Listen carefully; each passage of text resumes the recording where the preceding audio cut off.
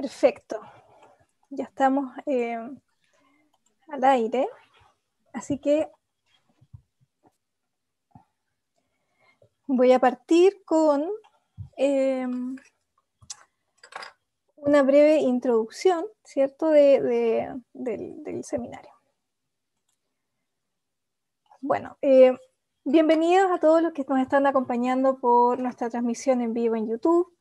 este es un seminario de, doctorado abierto en esta oportunidad para toda la comunidad eh, y bueno, nos convoca específicamente hoy día un, tema que es bien sensible, sobre todo en estas fechas, ¿cierto? Que es el feminicidio en Chile. Y lo vamos a atravesar con la pregunta específica sobre cómo se rememora en Chile, ¿ya? Tenemos una, invitada maravillosa, eh, Maritza Farías Serpa, que posteriormente la voy a presentar como se merece. Bueno, este, este seminario voy a empezar con una pequeña introducción sobre lo que hemos ido haciendo y, las conclusiones que hemos ido sacando con, con nuestras alumnas y luego le damos el paso a nuestra invitada. Bueno, este seminario ha tenido básicamente el objetivo de problematizar el feminicidio como un fenómeno criminal que responde a ciertas estructuras sociales, históricas y culturales y que manifiesta la violencia contra la mujer en su más brutal y último límite que es la muerte. Las violencias de género, así en plural, las entendemos desde Karina Vida Seca como todo acto cometido contra cuerpos feminizados que pueden tener como resultado un daño o sufrimiento físico, sexual o psicológico. Es toda acción violenta que recibe una mujer por el simple hecho de serlo, dañándola ya sea física, psíquica o emocionalmente. Los crímenes femicidas siempre serán actos de violencia expresiva, esto quiere decir para la antropóloga Rita Laura Segato, que los femicidios, pero también todos los tipos de violencia de género, no son obra de desviados individuales, enfermos mentales o de anomalías sociales, ¿ya? sino que son expresiones de una estructura simbólica profunda que organiza nuestros actos y les confiere inteligibilidad. En otras palabras, el agresor y la colectividad comparten un mismo imaginario y pueden entenderse y lamentablemente en este sentido pueden expresarse a través de la violencia. Estos marcos interpretativos que hemos estado trabajando amplifican profundamente el tema de la violencia de género, que es algo que también ya está explotando en el, imaginario público. ¿ya? ya no solo está en la teoría, como hemos visto en Chile, esto ya está extendido, esta comprensión mucho más compleja de lo que significa la violencia de género, y eso nos alegra bastante, pero todavía queda harto, hartísimo que hacer. Bueno, el femicidio definido primeramente por Diana Russell es un esfuerzo conceptual ya por incorporar la perspectiva de género a la interpretación de estos tipos de asesinatos violentos que sufren muchas mujeres en el mundo, expandiendo el motivo del crimen a causas estructurales de la cultura. Eh, para esta autora, y ella lo estaba trabajando ya en el 1992, el femicidio es, esta es una cita, el asesinato misógino de mujeres por hombres. ¿ya? Ella distingue una serie de tipos como el femicidio marital, el femicidio homofóbico, el, eh, femicidio racista, entre otros más. En su momento, esta categoría, femicidio, fue bastante reveladora y necesaria. ¿ya? Eh, en su contexto de origen, también pensémoslo en Estados Unidos. No obstante, resultó insuficiente para nuestra realidad latinoamericana y, y del Caribe. ¿ya? En tanto no visibilizaba el panorama completo que permite comprender este fenómeno, acá, ¿no es cierto? Específicamente atendiendo a dos factores que ignora esta conceptualización. El primero, que es el carácter masivo de ellos en muchos contextos o territorios, y el segundo es la pervivencia en el tiempo, que está garantizada por una impunidad generalizada. O sea, el femicidio solamente se permite en la medida que permanece impune. Entonces, estos dos aspectos eh, que se empiezan a visibilizar desde la teoría eh, feminista, sobre todo eh, de colonial, de las epistemologías del sur, ¿cierto? se empieza a problematizar este concepto y lo inaugura este rumbo teórico crítico Marcela Lagarde. ¿ya? Ella observa eh, la necesidad de construir un término capaz de reflejar no solo la responsabilidad individual de los autores, como, como puede entenderse a partir del femicidio, sino también su dimensión institucional, la corresponsabilidad del Estado por su inoperancia a la hora de prevenir estos crímenes. Entonces lo responsabiliza también al Estado. Por lo tanto, Lagarde comienza a teorizarlo desde este complejo escenario y dentro de un marco que necesariamente incluye la violación de los derechos humanos. De esta forma, la autora propone el feminicidio. Esa es como la diferencia teórica por la cual algunos hablan de femicidio y otros de feminicidio. Eh, para Lagarde, entonces, el feminicidio serían estos conjuntos de delitos de lesa humanidad que contiene crímenes como los secuestros, las desapariciones de niñas y mujeres en un cuadro de colapso institucional, en donde eh, el Estado muestra una responsabilidad eh, al ignorarlos y a no proteger a las mujeres. Bueno, también con este concepto se intenta evidenciar que estos tipos de crímenes son más comunes en ciertos territorios. Y que le ocurre con mayor frecuencia a determinadas mujeres. Las víctimas, eh, estoy citando a Lagarde, responden en general al perfil de mujeres muy jóvenes, escasos recursos, trabajadoras de la industria maquiladora o servicio doméstico y muchas veces también que migran de zonas rurales. Estoy hablando de, un, contexto específico en México, ¿ya? Eh, donde se comienza a, causa de los, eh, mm, del, femigenocidio, por decirlo de alguna manera también, eh, que, que, ocurre en México, que ocurrió en su momento en Ciudad de Juárez, se empieza a hablar de, de prototipos de mujeres, ¿ya? No es que solamente se mate a ese tipo de mujeres. Eh, bueno, y ya que hablé sobre el femigenocidio, solo para hacer esta precisión eh, conceptual, eh, Rita Laura Segato se refiere con femigenocidio a estos tipos de crímenes corporativos de mujeres que se pueden caracterizar como del segundo estado o, de, o de para Estado, ¿no? Y que constituyen también, evidentemente, crímenes de lesa humanidad, como eh, los feminicidios en Ciudad de Juárez. Bueno, eso como grandes rasgos, ¿cierto? En términos teóricos. Ahora, el hecho de que eh, los femicidios se estén problematizando como crímenes sistemáticos contra los derechos humanos nos sitúa en la pregunta por la memoria que van generándose a partir de este fenómeno de violencia social y en las similitudes de este tipo de crímenes con, por ejemplo, los crímenes en contexto de dictaduras latinoamericanas que constan con una larga estela de ejercicios memoriosos. Eh, en el contexto de este curso hemos ido recopilando una serie de prácticas que reivindican las memorias de las víctimas de femicidio en países como Guatemala, Colombia, eh, Costa Rica, México, Nicaragua, Brasil, entre otros. ¿ya? Eh, debo reconocer que han sido, eh, ha sido por un lado muy interesante, muy enriquecedor para todas nosotras ir averiguando estas formas de rememorar los femicidios, pero también ha sido una forma de acercarnos de manera muy cruda a las víctimas, a sus historias, a, su, a, a, sus formas de morir y a cómo quedan los familiares, ¿no? que son principalmente los que mueven estas acciones. Y, en muchas clases hemos tenido que terminar antes, hemos tenido que darnos ánimo y, tratar como también de, contener esa, emocionalidad que, genera.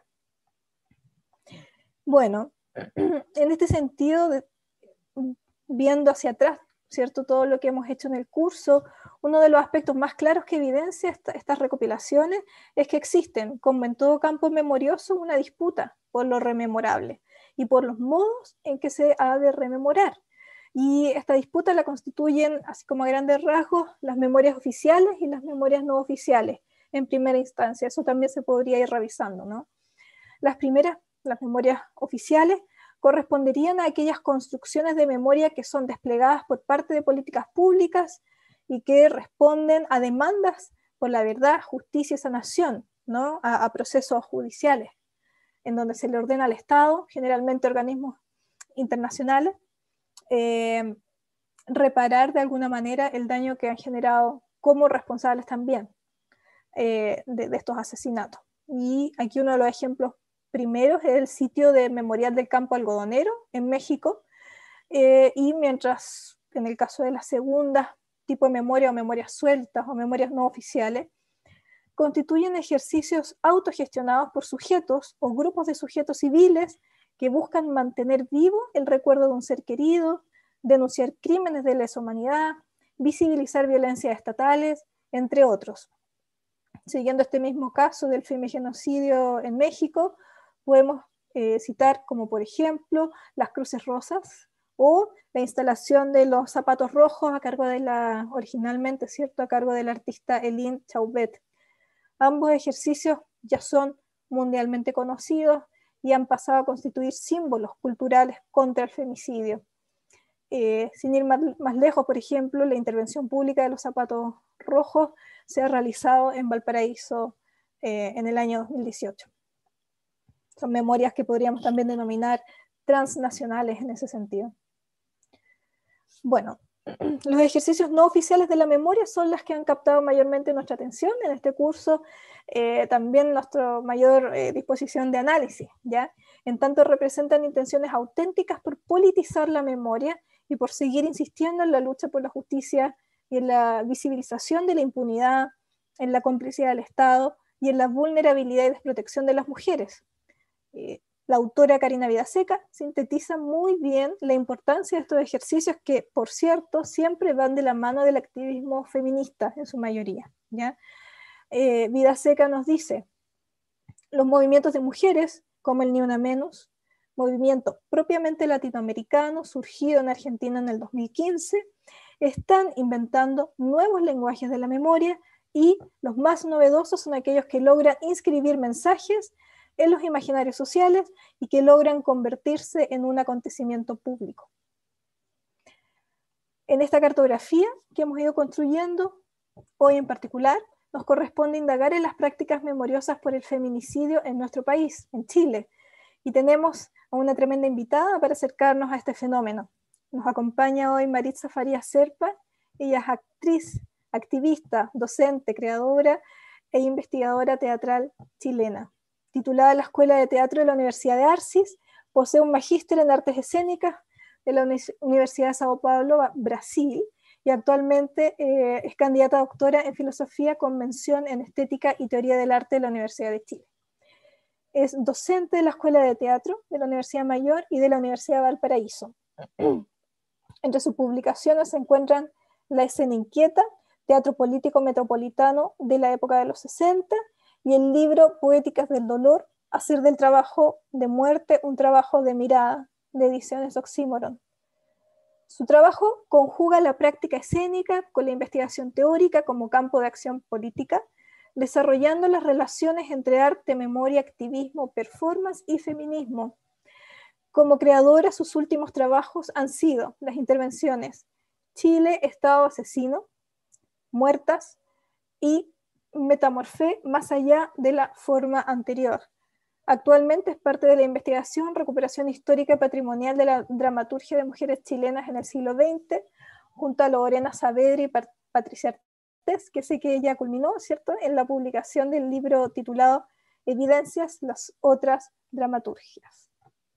Bueno, le doy entonces el paso a nuestra invitada Maritza para que nos presente su trabajo en este campo memorioso chileno.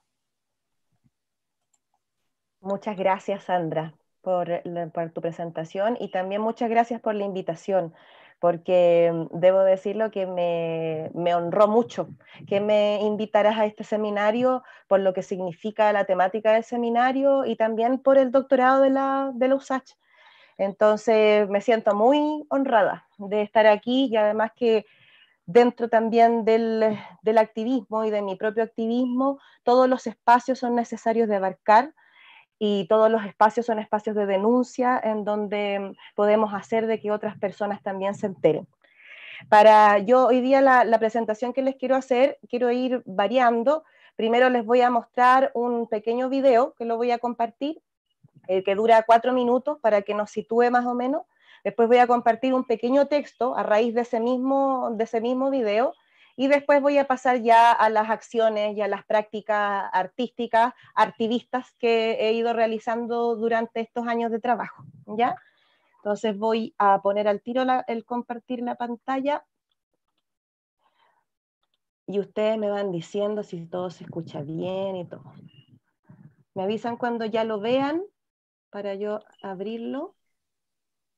Sí, se ve. ¿Están, viendo? Ya. Voy a darle play a esto. Alta Reyes Briones, eh, mamá de Ginny Sandoval Reyes, abuela de Ignacio, de Valentín y de Daniel. Bueno, eh, mi hija fue brutalmente asesinada por un demonio. La, la mató, después quemó su cuerpo, quemó la casa con los, con los niños adentro. Solo espero de que, que se le haga justicia a mi hija, a mis nietos y que esto eh, eh, la policía, la policía que, es la, que tiene que trabajar en estos casos, trabajen, que, haga su trabajo. No, no, existe la justicia que uno cree que existe, no, no existe. Mi nombre es Ruth Rojas, mamá de Jimena Fabiola Cortés Rojas. Eh, mi hija fue asesinada dentro de la base Cerro Moreno en Antofagasta. Ella fue encontrada un día 22 de marzo em, con múltiples golpes, con múltiples fracturas, con cortes en sus brazos. Em, ella agonizó cinco días en el hospital regional. ¿Qué pedimos nosotros? Nosotros pedimos justicia, que se haga justicia por Jimena. Desgraciadamente la justicia eh, no hecho su pega, no sé si es porque somos mujeres, no valemos para ello, no sé en realidad, pero me parece tremendamente injusto tener que, eh, como familia, eh, estar insistiendo en algo que es evidente. Su hija dijo, no está así por productos del veneno, me dijo. Su hija está así producto de los golpes. Dijo, su hija estaba viviendo un verdadero martirio, me dijo. Daniela tenía su cuerpo quemado con cigarro, su brazo, su seno, tenía corte en su cuerpo. Y yo no sé de, de cuánto tiempo Daniela estaría pasando ese martirio que ella nunca me quiso decir nada o la vez mejor tenía miedo, como este es un delincuente, ha pasado más de un año y medio y, todavía no, no pasa nada. Y todos aflojan que Daniela no murió por el veneno, como dijo el David, este, que desgraciado que me mató mi hija y, y ahora lo único que espero, que ojalá que se haga justicia. Ese día que falleció mi hija, eh, se hizo un escenario como que ella se había suicidado mi hija estaba embarazada de cuatro meses. Tenía una otra hija que es Victoria, que es mi nieta, eh, que tenía un año y diez meses en ese momento. La fiscalía le llegó el toxicológico. Y en el toxicológico eh, detectaron una cantidad de amitriptilina muy grande en su sangre. Eh, se mandó a hacer una exhumación. Esto fue el 2016, por ahí por noviembre. Y después de un buen informe y antecedentes y exámenes, eh, se detectó claramente que de todos los medicamentos estuches vacíos que estaban en el escritorio de ella el día de su muerte, ninguno estaba en su cuerpo. El Ministerio Público lo tiene acusado por femicidio y aborto. Pero cuando usted tiene recursos, a veces esas pruebas no sirven mucho. Si todo, todo lo que tenga que hacer por, asegurar el futuro a mi nieta lo voy a hacer. O sea, mi hija yo sé que no la va a recuperar más. Nunca sentido un dolor tan fuerte en mi pecho era muy desgarrador, demasiado, demasiado. Era muy fuerte, no, no sé, lo puede matar a uno. Es lo peor que le puede pasar a un ser humano cuando se le muere un hijo. Si tengo que seguir luchando, voy a seguir, pero ¿hasta cuándo? Tengo 56 años, nadie tiene asegurado el futuro. Yo lo único que pido es que me den fuerza para seguir adelante con esto hermano y poder estar con ella, por lo menos hasta que tenga una edad que pueda defenderse sola.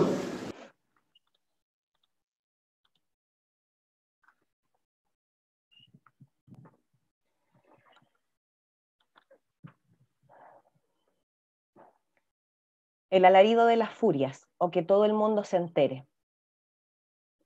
Ruth Rojas, María Espejo y Pedro Casilla son madres y padres de mujeres asesinadas por femicidio en Chile en los últimos cinco años. Durante este tiempo se han vuelto incansables buscadores de justicia para sus hijas, asociándose a cuanta red les ha sido posible. Estos tres crímenes, hasta el día de hoy, permanecen en impunidad. Ellas y él hablan con seguridad y como si se tratase de profesionales, explican los conceptos de perito forense, metaperitajes, informes toxicológicos y exhumación. Dan entrevistas, van al Congreso, entregan cartas en la oficina de partes del Palacio de la Moneda, en el Ministerio de la Mujer, en la Policía de Investigaciones y en el Palacio de los Tribunales de Justicia. Le cuentan a quien quiera escucharles y sobrellevando el dolor lo que les ocurrió a sus hijas. La mujer asesinada por el hombre fue silenciada. Ese criminal aspiraba al silenciamiento perpetuo de esa mujer y lo consiguió. Las madres y el padre de esas mujeres son sobrevivientes, son los testigos y son ellas y ellos quienes toman la palabra y alzan la voz contando su experiencia.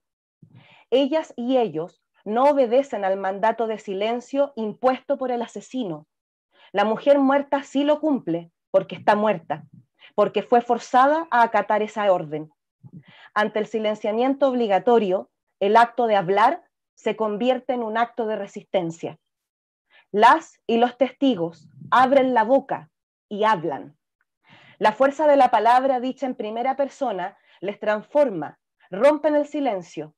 Se trata de una palabra que persigue, que atormenta, un alarido de su verdad. Una verdad que busca que se haga justicia y asumen la responsabilidad de contar lo vivido para que alguien responda. Las y los testigos sufren la injusticia y a través de su voz desencadenan el proceso de justicia. Estoy segura de que muchas y muchos de quienes han escuchado estos testimonios no conocían en absoluto los casos de femicidios relatados aquí. Esa es la fuerza que puede llegar a tener el alcance del testimonio, hacer que llegue a la mayor cantidad de personas posibles y en espacios divergentes, la verdad de las palabras de las y los testigos. Esto es lo único que puedo hacer concretamente como artista. Eso es lo que puedo contribuir con esas mamás y ese papá, porque no decidí ser abogada ni perito criminalista. La única posibilidad de acción que tengo en esta guerra contra el silencio es transmitir sus testimonios donde quiera que vaya, desperdigar su palabra como estrategia de resistencia ante la falta de justicia en la que se encuentran y así decidir formar parte del mundo que está cambiando. Se trata de, como artista, tomar una posición. El año 2018, junto a las artistas Daniela Moraga, Violeta Paus, Gabriela González y Javiera Melo, creamos e inauguramos Reincorporar, instalación de homenaje y denuncia de violencias extremas a cuerpos mujeres, de la cual forman parte los testimonios compartidos al inicio de esta presentación. Expusimos nuestra obra en Recoleta, Santiago, Valparaíso en Chile y Buenos Aires, Argentina. La instalación multimedia y práctica de arte social surgió como forma de homenaje y denuncia de casos de femicidio, lesbocidios y transidios en los que por encubrimiento, omisión y negligencia el Estado patriarcal es responsable. A través de esta creación intentamos entender los mensajes sociales que sustentan la violencia en los territorios cuerpo-mujer y así proponer un nuevo presente. Colectiva Oradar está formada por mujeres artistas e investigadoras que a través del arte accionamos y nos unimos a la red de denuncia, visibilización y resistencia contra las violencias extremas a cuerpos mujeres. ¿Cuándo nos dimos cuenta de que podíamos aportar a la búsqueda de justicia que llevaban adelante las y los familiares? ¿Cuándo nuestra instalación se volvió activista y junto a esto nos comprometimos con ellas y ellos? Sabemos muy bien cuándo ocurrió. Fue cuando vimos una fotografía de Ruth Rojas sentada sola en la Plaza Dignidad, ahora, perdón, en la Plaza Italia, ahora conocida como Plaza Dignidad, sosteniendo el lienzo de justicia para Jimena, fue cuando Rosario Méndez nos escribió desde Bolivia pidiendo un espacio para contar la historia de su hija. Fue cuando la misma Rosario nos contó que gracias a su video en internet le harían una entrevista en La Paz. Fue cuando Pedro Casilla nos llamó por teléfono para decirnos que estaba desesperado, que necesitaba ayuda porque el asesino de su hija quería esperar el juicio en libertad. Y nos preguntaba qué podíamos hacer nosotras en este caso. Fue cuando la entrevista del mismo Pedro y difundida por internet alcanzó más de 4.000 visitas en solo dos días de difusión. Fue cuando Alda Reyes nos dijo que estaba muy agradecida de todas las mujeres que la han ayudado a meter ruido, a hacer escándalo, a gritar bien fuerte, porque sola ella no podría haber hecho nada. Fue cuando María Espejo nos pidió hacer algo en conmemoración de los dos años del femicidio impune de Daniela. En esta comunicación he querido poner en valor la palabra de los testigos, del testimonio dicho en primera persona, porque, porque creo que no es tarea del arte hablar por otros o darle voz a los sin voz, haciendo uso de esa tan manoseada frase. El arte que trabaja con problemáticas sociales, según mi perspectiva, solo puede abrir espacios para que circule la información y se produzca la reflexión crítica a partir del presente, y así aspirar un poco a que se provoque algún tipo de transformación. La narración de un testimonio es un llamado de atención ético. Un testimonio es el documento del dolor. ¿Acaso tiene menos valor porque se trata de un relato articulado entre emociones y pensamientos? Todas y todos sabemos que matan a las mujeres.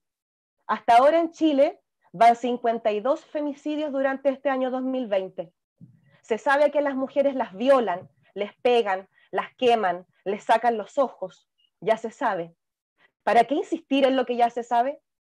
Sé que a muchas personas les molestan estos temas, porque siempre se está hablando de lo mismo, y las mujeres nos volvemos monotemáticas, así como las familias de los detenidos desaparecidos. Sin embargo, de eso se trata la resistencia política, de insistir, de hacer uso de nuestra fuerza de acción e incidir en el presente por nuestro propio futuro Podríamos decir entonces que hacer política sería tomar la decisión de hacer algo con el propio cuerpo, de venir activa, interferir en el destino de nuestro contexto y tomar parte en la acción, porque no puede existir neutralidad cuando se humilla la humanidad de otro. Los testimonios muerden, afectan, y el arte, y el arte político que me interesa tiene que afectar para transformar, sembrar la palabra, desperdigarla, para que germine la memoria, que el alarido de las furias se cuele por cada resquicio y que no haya oído que se salve. Este texto pertenece a un libro que fue eh, recientemente lanzado el 25 de noviembre en Ciudad de México.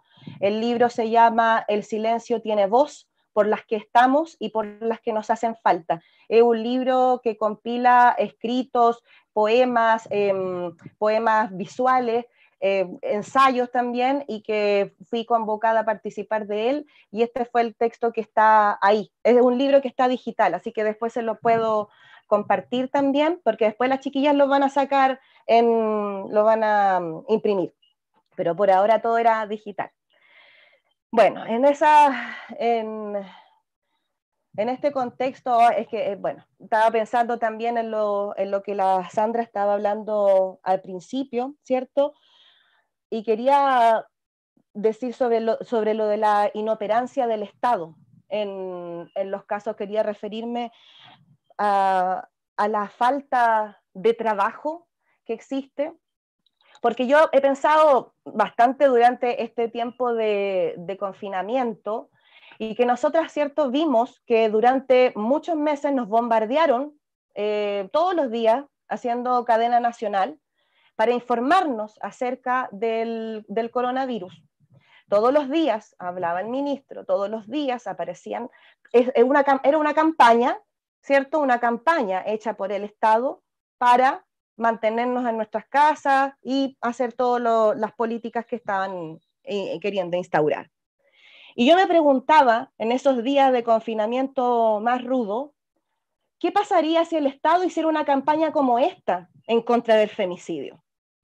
en que la ministra de la Mujer apareciera todos los días en un horario o en, distintos horarios y hacer una televisión pública educativa que forme a las ciudadanas y ciudadanos, que abra las culturas, que abra las mentes de las personas y que eduque en campañas a su, a su ciudadanía.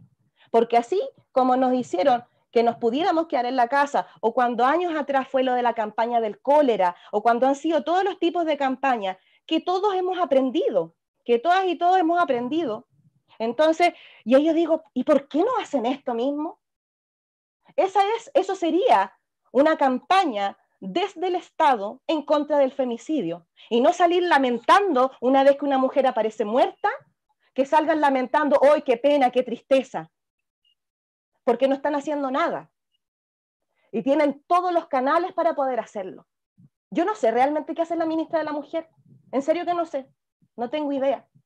Sé lo que hacen todas las organizaciones de la sociedad civil, de todos los grupos de activismo feminista, sé lo que hacen las compas en los territorios, eso, eso está visible.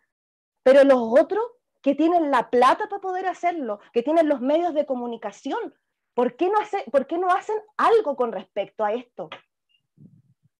Entonces, esa, esa es como la, primera reflexión que me, me, hiciste tú pensar, Sandra, y me hiciste recordar esto de la, de la, del, del, del compadrazgo que hace el Estado con los femicidas.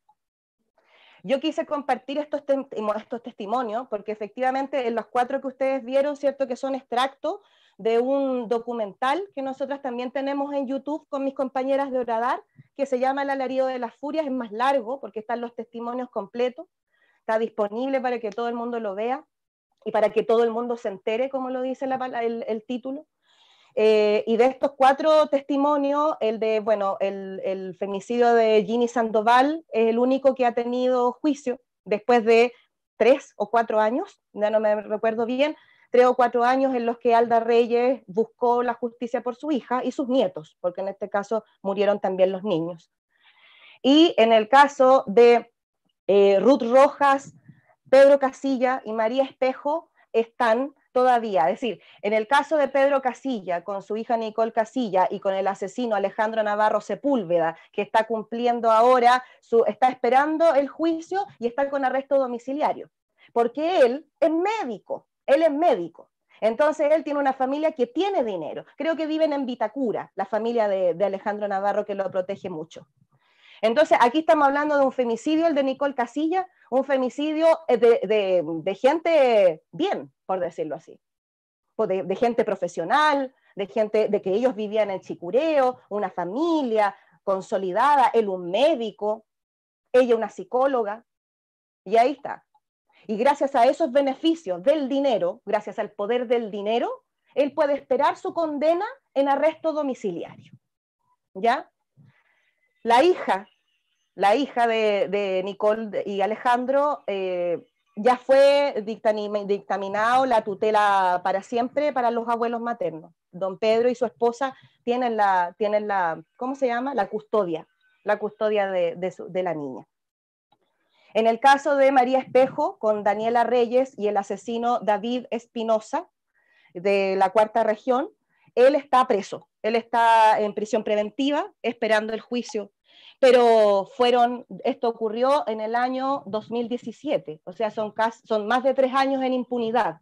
Recién este año se empezó a tener justicia para Daniela Reyes, pero así todo hasta el día de hoy la María Espejo tiene que estar cada vez que hay una audiencia, cada vez siempre pasa algo, siempre hay algún retroceso, siempre hay alguna demora. Y ahí tenemos que, vamos activando de nuevo todas las redes para seguir apoyando y que no decaiga todo. Y en el caso de Ruth Rojas, con su hija Jimena Cortés Roja y el asesino James Díaz Portus, que permanece en libertad, exfuncionario de la FACH, que fue este año recién eh, expulsado de la FACH, no se sabe por qué, pero fue expulsado. Y el, caso de Jimena Cortés Rojas es el que está más gravemente en impunidad, porque eh, ese caso está catalogado como suicidio de inmediato y eh, Ruth, estamos, estamos ahora siendo parte también de una campaña en la, página de Facebook que es Justicia para Jimena. Incluso el domingo también estuvimos con las compañeras de lesbofeministas de territorio de la ah, territorial, Asamblea Territorial, no recuerdo bien. Eh, el domingo estuvimos en un conversatorio, estuvo Ruth, estuvo, estuvo una, una de las peritos también, y varios, y varios grupos activistas feministas de Mejillones y de Antofagasta que también la están apoyando. Y mm, porque se está intentando, se está intentando de que se reabra el caso y que se catalogue y que se le dé una condena a este hombre, porque él es el asesino de Jimena Cortés Rojas. Eso estamos totalmente seguras, porque hay pruebas, están, están todos los peritajes, se hizo esta exhumación. Yo, yo, yo eso lo encuentro, yo, yo lo encuentro de, una, de, un, de algo tan terrible, tan horroroso, llegar a tener que exhumar el cuerpo de alguien para encontrar las pistas en un cuerpo, que el cuerpo hable. Es como una, el rompimiento de la metáfora a través de los, de los peritajes que se le hacen a los huesos. Llegar a eso para, las, para los familiares, para las mamás, los papás, las hijas, los hijos, las hermanas, los hermanos, porque detrás de cada mujer muerta hay una familia y hay amigas y amigos, y yo todos los días de la vida me pregunto, yo digo, ¿cómo esas personas están de pie? ¿Cuál es la fuerza que tienen? Y la fuerza es la búsqueda de justicia. Tiene que ver con esa resistencia. Porque ahí don Pedro, en ese extracto que yo les mostré, él dice, yo no sé hasta cuándo me van a dar la fuerza. Él va a, estar, va a tener fuerza, él va a tener fuerza hasta siempre, hasta que se muera, hasta el último de sus días, porque lo que, lo que vivió, lo que le pasó, es un testimonio vivo para, para toda la gente. En, en, el, en, la entrevista completa que está en el, en el documental, él dice, cuando nosotros vemos y somos testigos testigos y testigas de violencia en las parejas, de violencia en las relaciones, hay que meterse, dice él. Hay que meterse, hay que hacer escándalo, hay que hablar, hay que romper el silencio de todo. Entonces, por eso aquí yo digo, el arte, el arte tiene, todo su, tiene toda su, su fuerza en la exposición, en el mostrar, ¿cierto? A través del cine, a través del teatro, a través de la música, a través de la pintura, a través de las intervenciones. El arte es exposición, el arte es mostrar. Entonces, para mí, ese es el arte que me interesa hacer, ese es el, arte en el que estoy metida. En, en, ese arte que tenga un sentido, una significancia y que esté aportando a transformar la sociedad y a denunciar, a denunciar porque yo creo, y yo creo que ustedes también comparten eso, de que el, silencio en nuestro país, ¿cierto? Después de, la, de todo el periodo dictatorial que tuvimos, en donde las chilenas y los chilenos nos hicieron callar y nos metieron adentro de las casas y el miedo profundo de todo, nos hicieron, nos enseñaron, nosotros tenemos una cultura de que nos enseñaron a estar calladas, a estar en silencio, a no, eh, todos esos dichos, en, boca cerrada no entran moscas, calladitas se ve más bonita, todo ese tipo de cosas están avalando una cultura del silencio. Y la cultura del silencio, los pactos de silencio, son aquellos, em, son, los que apoyan la impunidad y apoyan la injusticia. Ya lo vemos ahora con las violaciones de los derechos humanos durante desde el estallido hasta hoy, los pactos de silencio de carabineros de Chile, entonces, todo nos remite al silencio. ¿Y qué pasa cuando se habla? El otro día un periodista le preguntó a Piñera, le dijo en su cara, le dijo, que como ustedes en su gobierno anterior querían sacar a, la Michelle, a Michelle Bachelet con un no sé cuánto porcentaje y usted ahora que tiene 7%, ¿cómo sigue gobernando? ¿Y qué hizo él? Se quedó callado y se saltó la pregunta. Silencio. Porque si, si hay silencio, no existe, no existe, se omite. Entonces, por eso todas las feministas gritamos, gritamos, salimos a la calle y hablamos y hablamos y hablamos y machacamos. A mí me gusta mucho ocupar esa, esa metáfora de el refregar en la cara de la gente lo que nadie quiere ver. Molestar, es molesto, es molesto porque nadie quiere algo terrible, algo doloroso, ver, verlo.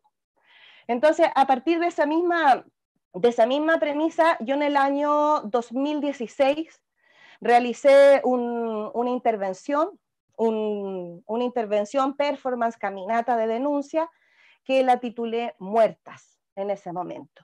Entonces, les voy a, voy a compartir algo eh, que no sé, que hay un video, pero es muy largo, puedo mostrar algunas partes, porque es más entretenido mostrar un video que foto, eh, para que lo vean más claramente, mientras yo les voy contando y les voy contando cómo, cómo ha sido también el camino de, de muertas, porque eso lo empecé a hacer el año 2016 y la última fue en marzo, en el 8M del 2019.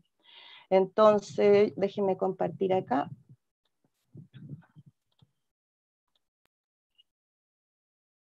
Ustedes me dicen, ¿ya? Sí, se, ve? claro. Ya. Lo voy a dejar en silencio para que se vaya, se vaya viendo.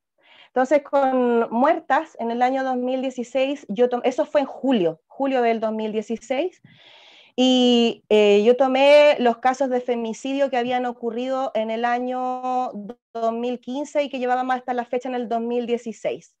Y una caminata que hicimos una intervención, partimos ahí en la plaza, mm, eh, esta plaza que está en Las Tarrias, Mulato Gil parece que es esa plaza, no me acuerdo y eh, ahí la que está en Las Tarrias con Merced. Y partimos desde ahí caminando hasta el GAM y en el GAM finalizamos. Y esto duró alrededor de dos horas, porque como pueden ver hay un trabajo también de cualidad en el tiempo, de cualidades energéticas, en donde las mujeres que íbamos eh, iban caminando muy lentamente en contraposición al ritmo de la ciudad, de cómo las personas van pasando, pasando ante esto esta, la, cada una de nosotras llevaba una placa, una plaquita que, es, que tiene, su, tiene su creación en las, en las típicas plaquitas que acompañan las obras de arte en los museos, ¿ya? En, ven que en, el museo está, no sé, el cuadro o la, o la escultura y al ladito sale la, su explicación, la descripción. Y en esta placa dice cuerpo de mujer muerta, dice ahí, nombre, por ejemplo, Rosa Esterva Montes Mardones, 36 años. Después, autor del crimen. Ahí sale el nombre, RRJ, 58 años, no se da a conocer su nombre. Luego dice técnica, múltiples puñaladas. Lugar, San Fernando, región de O'Higgins. Fecha, miércoles 6 de septiembre, año 2017. Entonces, esta plaquita, que aquí también la, la tengo, estas plaquitas son las que cada una lleva y se les va mostrando a las personas que van pasando por el lado nuestro y se les va restregando en la cara a las personas. Y después de eso, cuando ya llegan al momento de, la, a ver si la voy a adelantar un poquito, porque esto es caminata, caminata, y después empiezan a... Mm, ay, se queda pegado. Ahí está, ya. Ahí está. Y una vez que llegan al, llegamos a, la explanada, en eso yo leo un texto, yo leo un texto de las, eh, del libro 101 Definiciones del Anarquismo, eh, y después cada una empieza a caer en el suelo y toma la posición de un cuerpo de una mujer muerta. Y ahí después yo voy y aplico pintura roja, por eso están de blanco. Eh, pongo pintura roja dependiendo de las heridas que se indican ahí en, el, en, el, en la plaquita. Y después nos quedamos ahí un tiempo y después se, se levantan y nos vamos y desaparecemos. Esta intervención aquí, esta, vez que la, primera vez que la hice, creo que éramos como 25, me parece, como 25 mujeres. Después también la hicimos, eh, otra vez tuvo otra, otra presentación más en el marco del Festival de Arte Erótico en el año siguiente, en el 2017.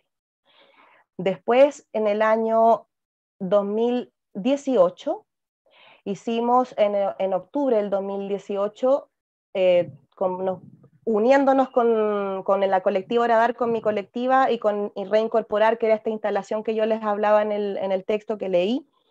Ahí, eh, para el 2018, yo hice una convocatoria mucho más grande porque los años iban pasando y se iban sumando placas y placas. Entonces yo aquí en la casa tengo toda mi, todo el alto de plaquitas que van desde el año 2015 hasta el 2018. Y en ese octubre del 2018 nosotras hicimos la intervención a partir del, de, la, de Oradar, de donde, estábamos, de donde estaba la instalación. Entonces las personas cuando entraron al lanzamiento de la, de la instalación, todas las mujeres estaban desperdigadas con su plaquita. Y esa vez fuimos como 50, ahí ya fuimos muchas más, 50, 60. Y, y partíamos desde la Biblioteca Santiago, nos fuimos caminando hasta el metro Quinta Normal. En el metro Quinta Normal nos quedamos paradas ahí alrededor de media hora. Cuando atravesamos siempre cortamos el tránsito porque tenemos que seguir el, el flujo Después llegamos al metro Quinta Normal y ahí nos quedamos para ocupar para que las personas a la salida y a la entrada del metro nos vieran.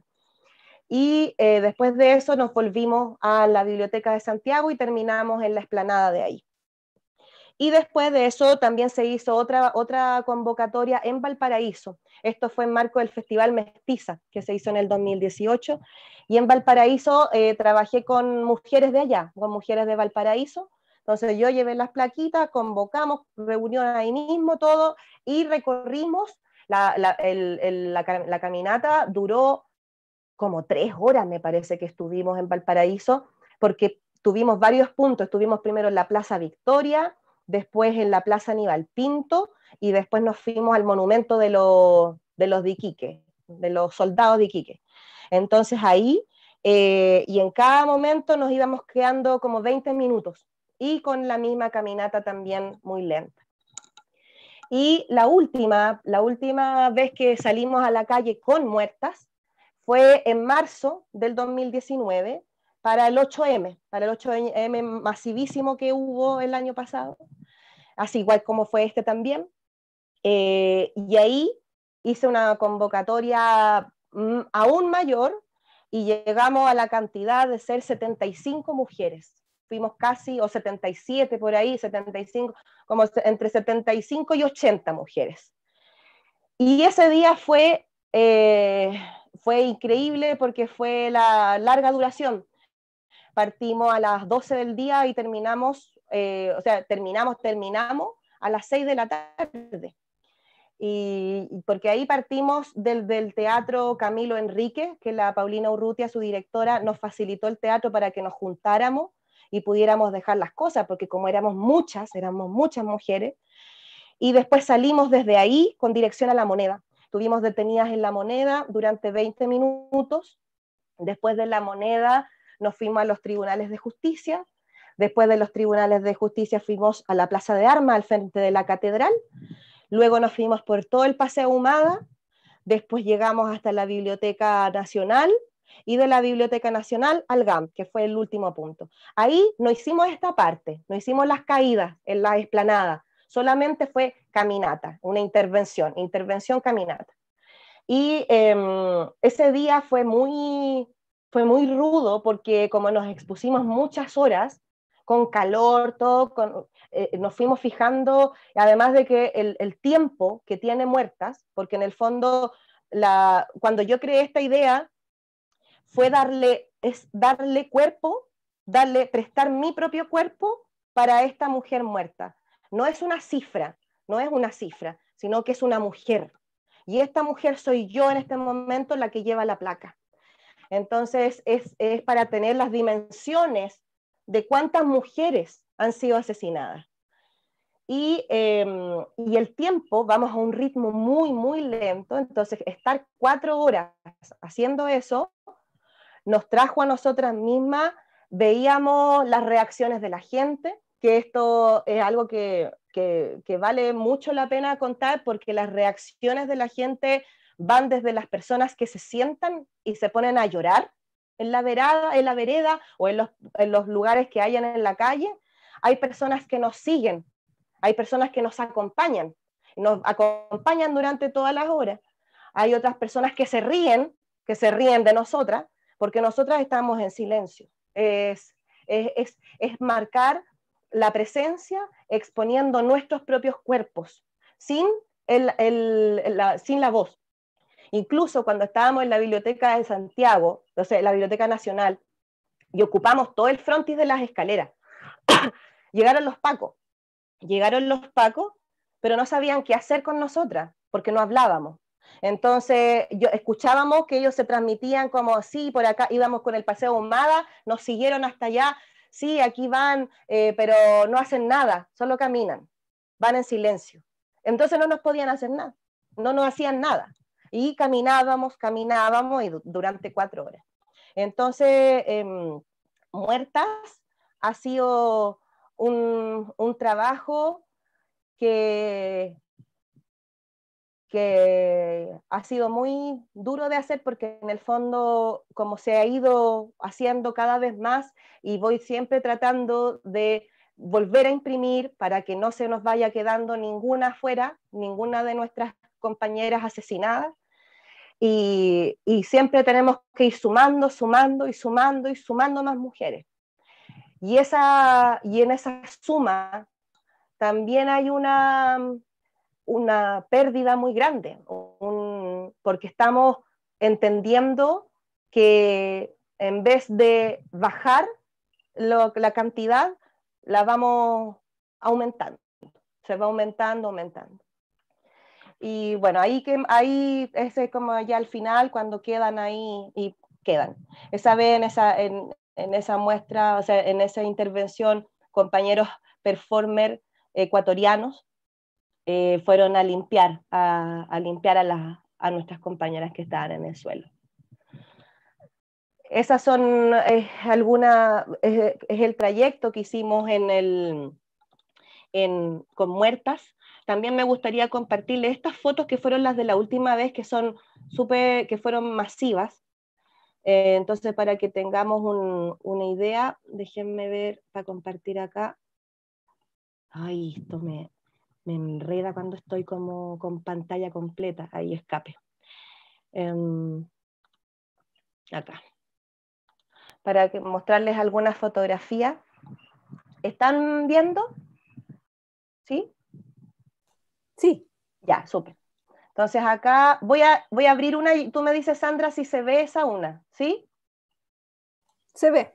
Se ve, ya, bacán. Entonces así las voy poniendo más grandes, ahí. Aquí vamos caminando aquí vamos saliendo, entonces ahí están, aquí estábamos ya en la biblioteca, están, estas están un poco desordenadas, pero se ve después en la dimensión, en la, ahí vamos por el Paseo Ahumada. Esta fue la de marzo del 2018, en la que logramos ser casi 80. Y cuando vamos caminando, como les decía yo, vamos mostrando, ahí se ve más o menos la fila enorme que teníamos, ocupábamos todo el frontis de los tribunales de justicia. Esos caballeros que iban muy muertos de la risa, otras personas que se acercan a leer, personas que nos daban agua en el camino. Ahí se ve la magnitud.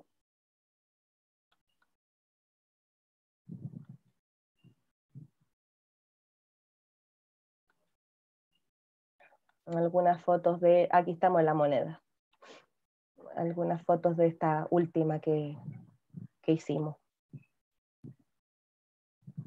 Ahí estamos en la biblioteca, la Biblioteca Nacional. Aquí nos encontramos con la colectiva La Jauría, que también nos cruzamos justamente en el Paseo Humada y se provocó un encuentro muy hermoso porque ellas iban tocando instrumentos y se detuvieron a mirarnos y, a, gritar consigna. Entonces fue un momento muy emocionante, mucha gente se detuvo a, mirar. Ahí nosotros pasando por los restaurantes, mostrándoles las placas a la gente. La gente, mucha no queriendo ver, como es lo que hablamos también.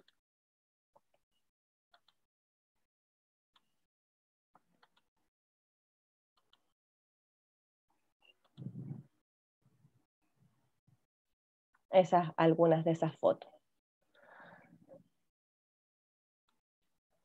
Eso fue con, muertas. Y ahora en, marzo de este año hice otra convocatoria. Aquí, aquí tenía esta, no sé si las vieron de antes. Aquí está la plaquita. Esta es la placa y ahí está el detalle de lo que dice, ocupando siempre, la misma descripción que se hace los museos de arte, al lado de un cuerpo muerto. Y, y en marzo de este año, justo antes del confinamiento para el 8M, hicimos, yo hice otra convocatoria que se llamó Las Erinias, que tiene que ver con el texto que yo les estaba leyendo también, como las diosas infernales que buscan justicia. Y, ahí cada una hizo su traje. Eh, a ver, esas, esas fotos se las tenía también preparadas para mostrárselas. Aquí, estas son súper poquitas porque no, no he hecho los registros como corresponden todavía. Acá están viendo. Aquí teníamos un, teníamos un, un lienzo que, se, que dice atormentaremos hasta que haya justicia, las erinias. Y que esta es una idea que tengo, que la tengo que seguir desarrollando, que la quiero seguir haciendo. Entonces íbamos ahí, fuimos, ¿cuántas fuimos? Como 10, 10 mujeres, cada una creó su vestuario. Nos juntamos en la casa de un amigo que nos facilitó, que vivía al lado de la Plaza Dignidad, y, y ahí nos vestimos juntas y nos pintamos también los brazos, el cuerpo. Aquí estamos todas. Éramos 1, 2, 3, 4, 5, 6, 7, 8, 9, 10, claro, 10. Em, y cada una en su vestuario tenía distintos tipos de denuncias.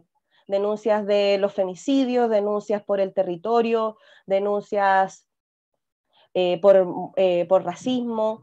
Entonces, cada una tenía un motivo en su vestuario. Y ahí sí, tuvimos la marcha, toda la marcha, y después hasta que volvimos a, a la casa junta.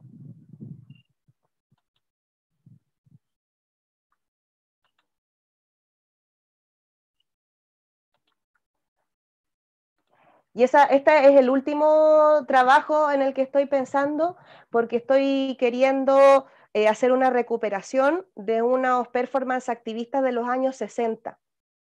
Y estoy investigando sobre eso y ahí pretendo después, en un, en un tiempito más, yo creo que tal vez pueda ser para ya marzo, poder eh, llevar a cabo la idea de las erinias, de, configurarse como un, coro atormentador que aparezca y que acompañe también, por ejemplo, a los padres y a las madres, en a las mamás en los tribunales de justicia, eh, porque así como lo hemos ido haciendo con, con Oradar, hemos podido acompañar a Pedro Casilla en las partes del juzgado ya en Colina, y, a, la, Ruth también, y a la, María Espejo, pero también todo como digitalmente, porque ahí ellos, ellos viven en, las regiones.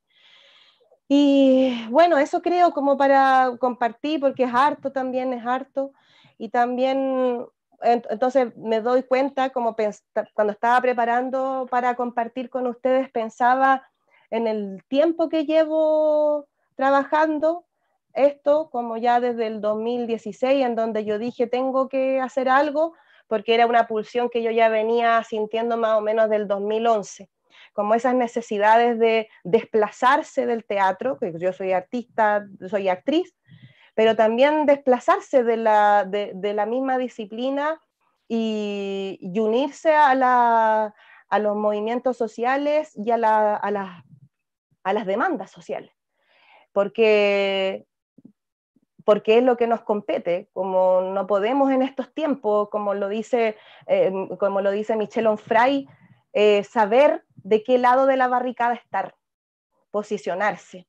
Entonces no, no, se puede, no estamos en los tiempos para andar haciendo tibia o de que hoy no, no me gusta esto, no te... No, como hay que tomar una posición y si no te gusta mi posición, bueno, no importa. Como hay, para eso somos montones y para eso tenemos diferencias los seres humanos y que eso es lo maravilloso. Y mm, entonces creo que eh, ha sido un trabajo bien rudo, muy rudo, muy complejo cuando hicimos las primeras entrevistas. Yo siempre recuerdo la primera entrevista que tuvimos que hacer a la, Ruth Rojas, y yo no, yo, no, yo no había entrevistado, yo no, era yo no soy periodista ni nada de eso, sino que era tener el, testimonio de ella para, para, reincorporar. Y cuando salí de la entrevista con ella, eh, fue, mm, me tuve que hasta bajar del metro en un momento de lo angustiada que venía o cuando, que fue el mismo año en el que fue cuando fue la marcha del aborto, me acuerdo. ¿Se acuerdan esa vez que tiraron unas cuestiones en la calle, como un grupo fascista tiró unas cosas como media, no sé qué era, y que también apuñalaron unas compañeras que le habían pegado unas puñalas. Ya, y en, ese, en esa marcha yo había ido con mi sobrina, y con mi sobrina en ese tiempo tenía, no sé, 11, 12 años, y también, entonces, me, eran, como los todo todas las cosas juntas en las que uno dice, aquí hay que, aquí hay que meterse, como lo dice don Pedro Casilla, como aquí hay que tomar posición, aquí hay que poner el cuerpo, aquí hay que ser visible, porque además que nosotras las mujeres hemos tenido una, una historia de la imagen de la mujer que ha sido contada siempre desde los hombres. Entonces, la publicidad, la literatura, la música, todas las artes eh, plásticas, las artes visuales, todo contado desde de cómo el hombre ve a la mujer. ¿Y qué, ¿Y qué pasa con nuestra propia representación? Cómo nosotras nos queremos ver en el espacio público, cómo nosotras nos tomamos eh, la calle y le decimos a la gente, así somos las mujeres, Así somos las mujeres. Las mujeres son las que están, eh, eh, así somos, así somos, así son, con, con los rollitos, con los pelos parados, con las ojeras, con la arruga. No somos las imágenes que nos han impuesto. Y también cuando yo empiezo a hablar de estas cosas, siempre digo, ay Maritza, pero ¿por qué siempre te pone como repetitiva con esto? Y yo digo, pero ¿por qué todavía sigue pasando? Todavía sigue pasando, todavía los programas de televisión tienen a las mujeres ahí con la minifalda y, y objetualizando el cuerpo de la mujer, que eso obviamente va en directa relación con los femicidios y con el valor que se le da a la mujer. Entonces hay una cultura del menosprecio a la mujer y a los cuerpos feminizados, exactamente, a los cuerpos feminizados. Entonces, eh, y tenemos que, tenemos que insistir, y yo creo que esto, como, como ahora ya se ha llevado un tiempo y se han ido, se ha visibilizado aún más, y mientras el otro día, no me acuerdo en qué, en qué cosa lo leí, en qué libro lo leí, pero había una parte que explicaba de que era directamente proporcional eh, la, cuando uno va, está luchando en contra de algo. Por ejemplo, si nosotros tenemos una lucha contra el femicidio, y, hacemos un montón de cosas, un montón, montón, estamos aquí arriba y tiene directa relación con la proporción de mujeres asesinadas que va a haber, porque es, el, es la respuesta, es la respuesta a esa visibilización y a ese como, ay, ya, y qué, y tanto cuestión de las mujeres, y pa, ¿cachai? Entonces, hay una respuesta muy directa, pero que con el tiempo va a bajar, se va a seguir en en la escalada de la denuncia contra el femicidio, contra la violencia, y esta ola que va para el otro lado va a decrecer. Era como, era una feminista, pucha, no me, es que yo no me acuerdo de las cosas de los libros, como que a veces me lo anoto, y, ah, pero bueno, y ahí explicaba ella esto a, partir de los estudios que se habían hecho en países más desarrollados, en donde se ha hecho también una campaña para que se, se eh, decrezcan las las, las, las tasas, porque en el fondo no desaparecen, pero bajan. Y bueno, eso nomás, eso nomás, conversemos.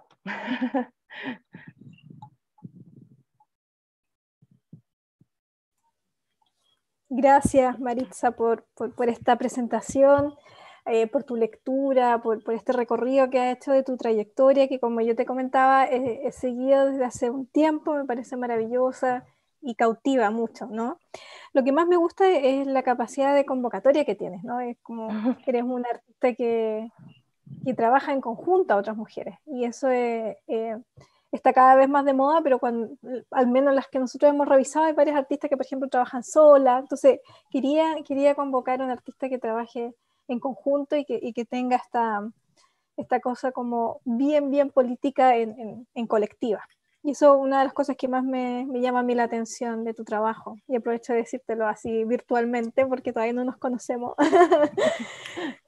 y em, bueno, yo tengo varias preguntas, pero quiero primero darle el paso a mis estudiantes que sé que están súper, hiper entusiasmados de, de, tenerte aquí.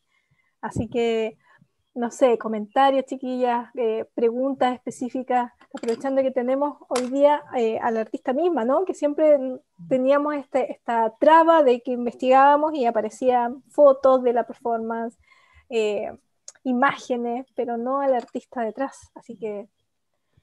Yo quería hacer un, un comentario agradecerte tu trabajo, o sea, es que en verdad no lo conocía de forma directa, así que agradezco el que esté aquí día en esta clase porque me abriste muchas luces y me gustó mucho también la...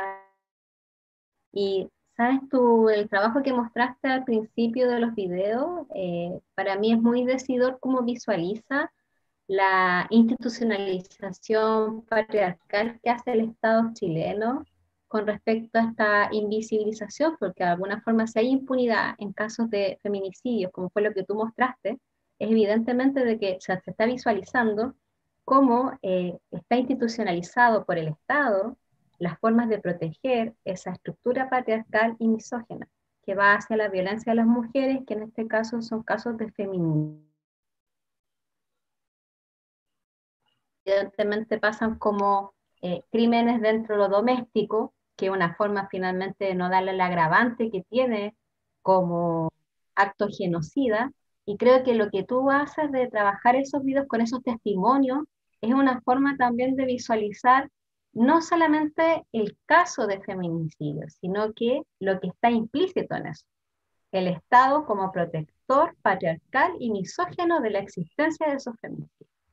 Eso quería comentar, que para mí fue como muy visual, cuando lo empecé a ver inmediatamente como que me permitió hacer la relación, digamos, entre el testimonio y lo que está implícito. Así que gracias. Eso quería comentar de tu primer trabajo. Bacán. Em, yo también quería hacer, bueno, también quería agradecerte, Maritza. Yo no conocía tu trabajo, me pareció, te estuve investigando antes de esta clase. Em, súper interesante sobre todo me llamó la atención eh, la acción muertas, ¿cierto? Como la, mm, la, diferencia que hace de hablar de cifras y humanizar esas cifras y representarlo con personas, porque Em, claro, si uno habla de 80 mujeres eh, víctimas de, femicidio o feminicidio, suena, suena terrible, pero ver 80 mujeres ahí, con más encima como, o sea, expresando dónde se ejerció la violencia, a mí me parece que tiene un impacto súper profundo. Y, te iba a preguntar si vas a continuar con, esa, con esa performance, porque em, va a llegar un minuto en que vamos a, van a, van a, van a necesitar mucha, mucha convocatoria. Sí, porque me gusta eso que se vayan sumando, que no sean como las víctimas del, de tal año y tal año y tal año, sino que em, se van agregando, ¿cierto?, las nuevas víctimas. Creo que eso también tiene una significancia eh, importante. Sí, sí, ojalá no tuviéramos que hacerla más, pero como sabemos que no, porque hay que seguir haciéndola, eh, sí, es que ahora este año, y esto ya se los cuento como eh, este año estuve muy, eh, bueno, encerrada como todas y aproveché también de terminar mi tesis del doctorado. Entonces tuve que dejar de lado mi, muchas gracias, tuve que dejar de lado todo el trabajo de activismo en la calle y solamente me dediqué como a hacer el activismo a través de, la, de, la, de aquí del Zoom, los conversatorios en los que he participado, eh, y he dejado un poco, pero ahora vuelvo a la vida. Entonces, como que, claro, por supuesto que sí, voy a seguir, voy a seguir haciendo muertas porque, claro, tengo, tengo aquí mis las plaquitas hasta las del año 2018. Entonces, no están las del 2019 y no están las del 2020. Y esas las tengo que mandar a hacer. Y, y después, claro, entonces sí, sí, voy, a continuar porque es algo que existe y, y que es muy necesario, pues, es muy, sigue siendo muy necesario también de hacerlo, y porque es claro que sí, tal como dices tú, Jimena, la, cuando uno ve los cuerpos, por eso, nosotras, por eso nosotras no hablamos por las otras, sino que es, como lo dice Ileana Diegues, que em, el ciudadano artista es el que puede estar en el lugar del otro y el que le da cuerpo en su propio cuerpo, le hago un espacio a ese cuerpo que ya no está, se lo hago en, mi cuerpo. Y por eso nosotras no hablamos, por eso es silencio. No, decir, no gritamos consignas ni nada, porque de fondo estamos haciendo una, una una intervención de cuerpos, de visibilizar los cuerpos en el espacio, de la, la masa, la densidad corporal.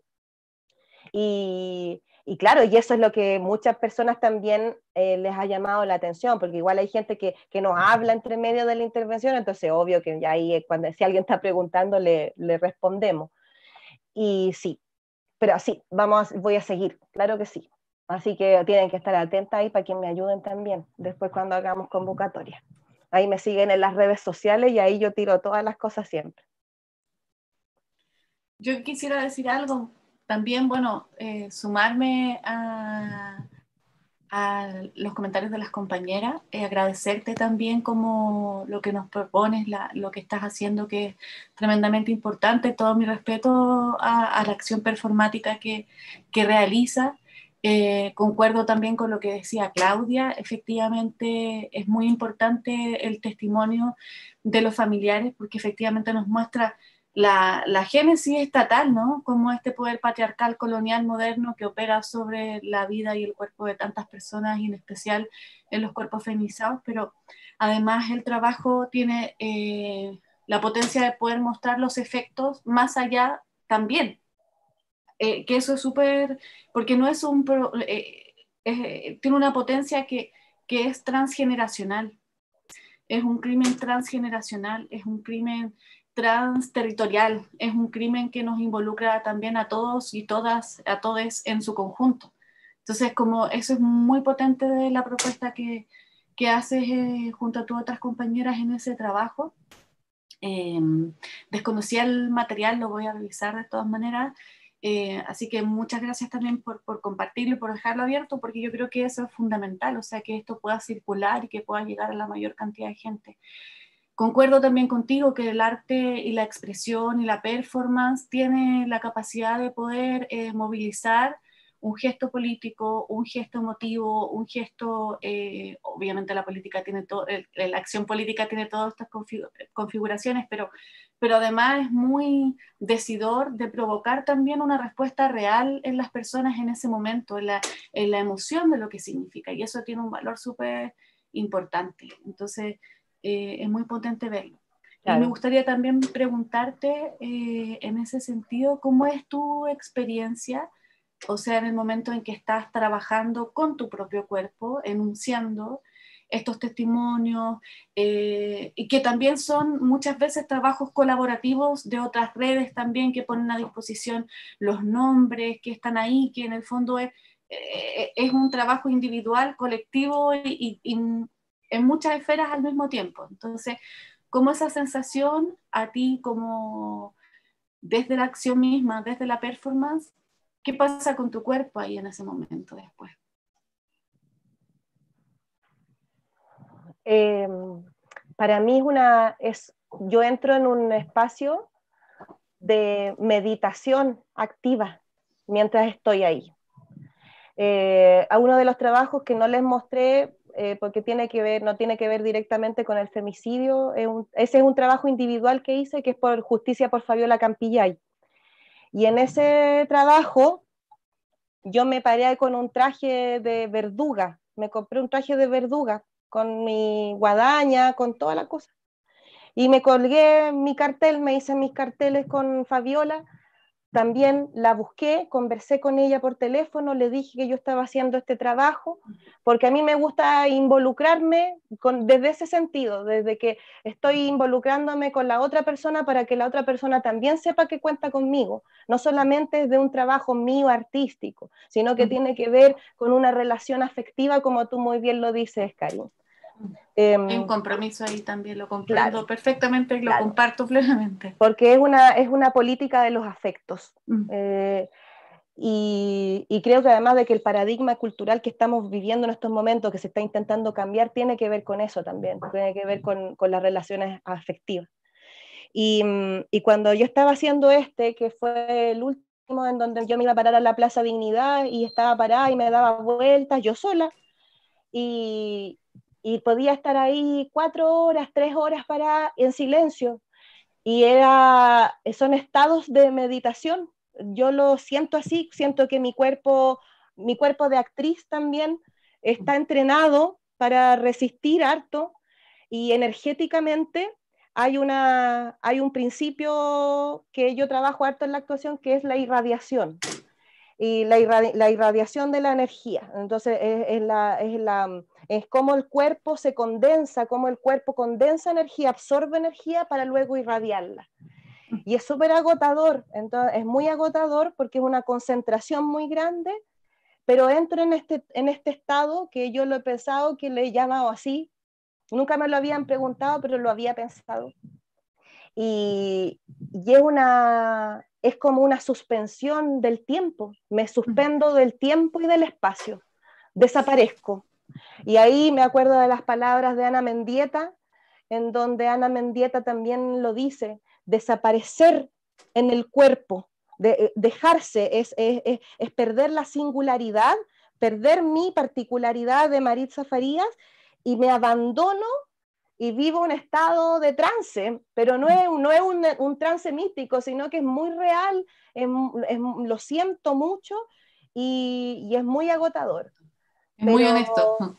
Sí, y, y, es muy bello porque yo siento de verdad que estoy suspendida, ¿cachai? Siento de que estoy flotando en otro ritmo a cómo está siendo la realidad, a cómo va pasando. Por eso me gusta la calle, porque yo veo la realidad, me meto ahí y veo lo que va pasando. El, para el, el, otro trabajo que hacía la Sandra, el Estado de Chile asesino, ese lo hicimos con convocatoria, yo soy profe en la, en la Escuela de Teatro de la U Mayor y en la U de Valpo. Y en la U Mayor hicimos con los cabros y las cabras esta, esta intervención. Y yo creé la intervención, hice la convocatoria y salimos con estudiantes y profesores y también con el mismo principio del, del, eh, eh, de irrumpir en el, en el, espacio público, en el centro de Santiago. Ahí esa vez nosotros lo hicimos como el 28 de octubre, entonces estaba todo pasando, los pacos estaban encima de nosotros, nos fuimos a poner al frente de ellos, los pacos se reían de nosotros nuestra cara, la gente que estaba alrededor le gritaba cosas y nosotros todo el mundo mudo. Y, y ahí también son, son estos momentos de suspensión en donde se empieza a vivir una realidad, yo como artista, como, como performadora, me suspendo y empiezo a vivir una realidad paralela. Eh, y entonces eso es bellísimo porque yo siento como que vivo el doble, como que estoy viviendo el doble en ese momento. Qué bonita tu pregunta, gracias. No, muchas gracias por tu respuesta. O sea, de verdad... Eh comprendo lo que la sensación de honestidad y la sensación que está ahí muy presente. Así que muchas, muchas, muchas gracias por tu respuesta. También me, me hace mucho sentido con otras, con otras cosas. Así que muchas gracias. Yo quería hacer otro comentario con respecto a una especificidad de tu trabajo, Las Muertas, la performance, con respecto al letrero, que a mí me remite, claro, si uno piensa qué significa ese letrero dentro de un museo, un espacio museal, es un archivo, una categorización donde en el fondo lo que se hace es que las piezas de arte, objetos de arte, se entran a rotular. Entonces como que me remitió eso dije, claro, o sea, la clasificación de cuerpos de mujeres muertas, como con la técnica, el lugar y año, me remitió, claro, si uno piensa en el espacio de museo, que además como un espacio súper institucionalizado, muerto así de por sí, donde todos los objetos tienen su rótulo y una, una tipología, una clasificación. Entonces pensaba, claro, qué fuerte, o sea, como cuerpo mujer muerta, de tal forma, la técnica, año. Entonces, ahí como que me remitió un poco a esta objetualización del cuerpo también, de estos cuerpos feminizados, eh, como parte de estos crímenes de femicidio, pero primero estos cuerpos que han sido, digamos, objetualizados previamente. Y como visualizarlo desde ahí me pareció como bien interesante en términos estéticos, como esa especificidad de la performance. Eso quería comentar también, que me mm. llama la atención. Súper.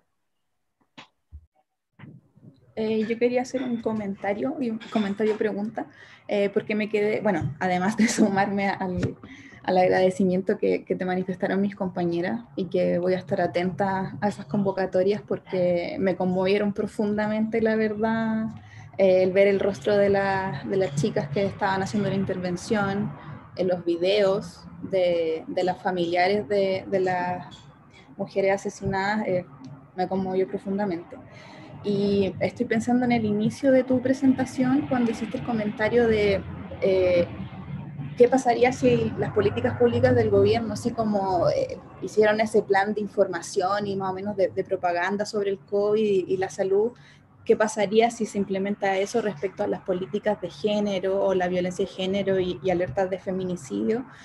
Eh, pienso eh, en que en esa época, o sea, en este año, hicieron esa, esa mm, propaganda bien ridícula de la mascarilla 19 no sé si te acuerdas que, o se acuerdan que, que, había que ir a la farmacia como a pedir ayuda si es que una era violentada y así mascarilla 19 y los farmacéuticos te iban a rescatar con carabineros, no sé, era como...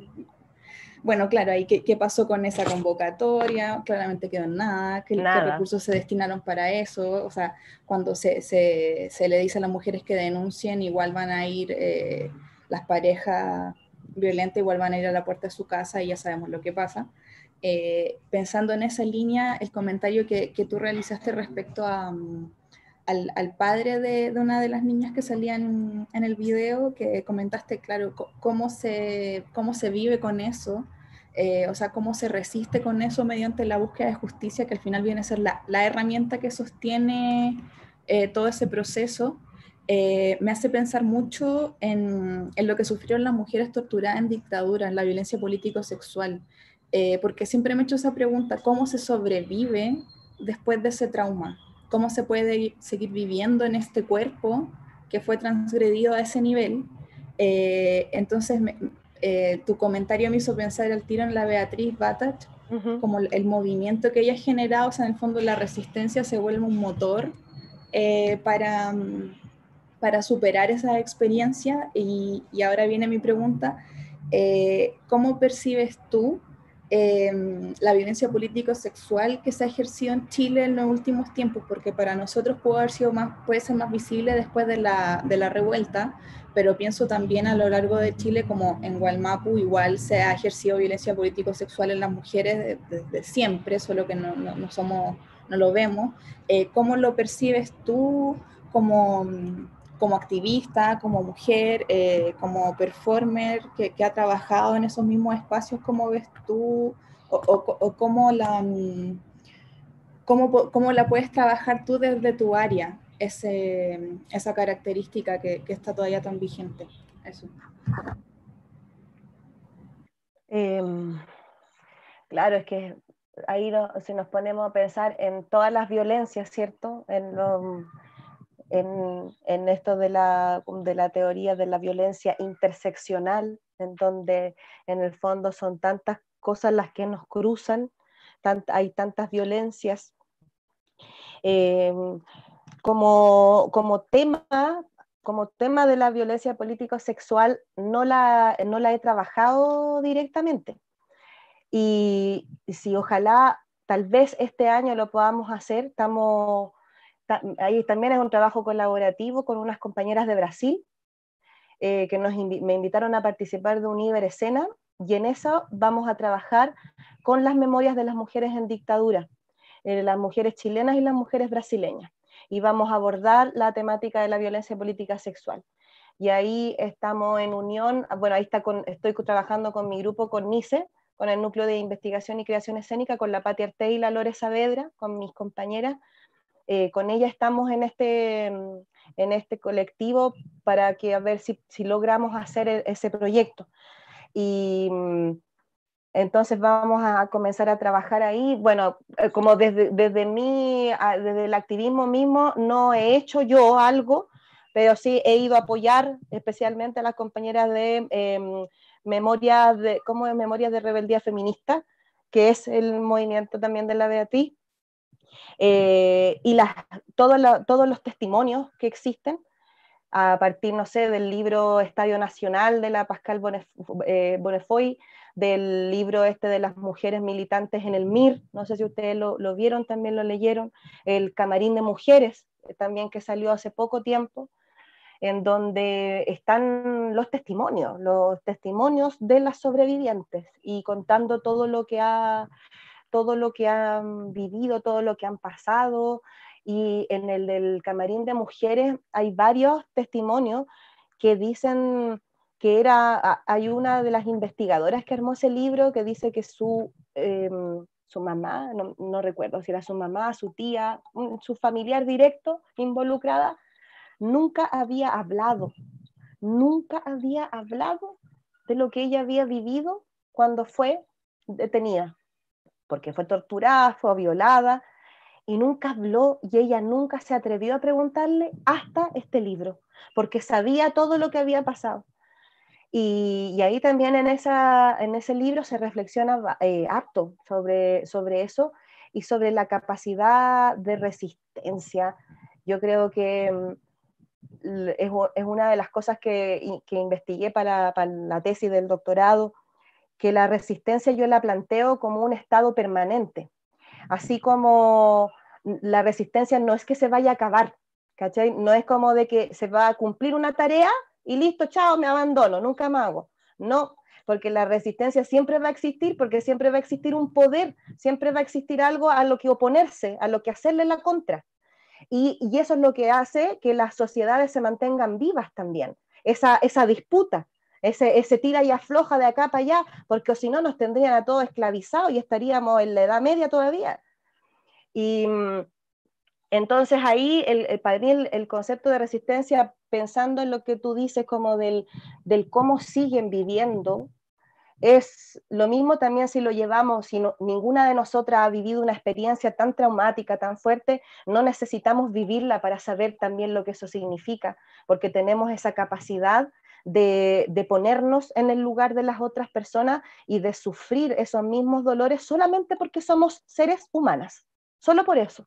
Entonces, lo que pasa en Palestina me duele a mí de la misma forma que a una persona que es palestina y me así.